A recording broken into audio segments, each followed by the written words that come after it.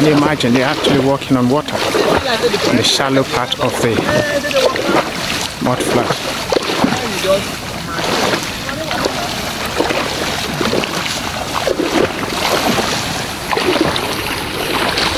The mud flat in the estuary is a very important part of the estuary because it serves as breeding ground for some fishes and a feeding ground for most estuarine organisms, marine organisms.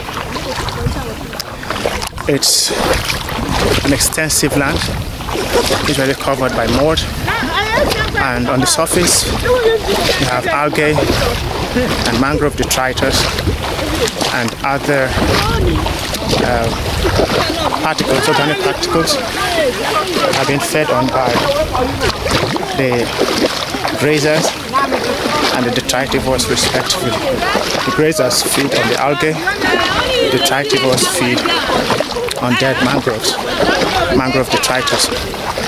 Then these ones are in turn being fed on by larger organisms and then larger fish and the fish are also being fed on by birds the wading birds that occupy that come to this mud flat to feed. Yeah. In the mud flat in the Atlantic Ocean in the River Nun estuary close to the Atlantic Ocean These are my students walking on the mud flat.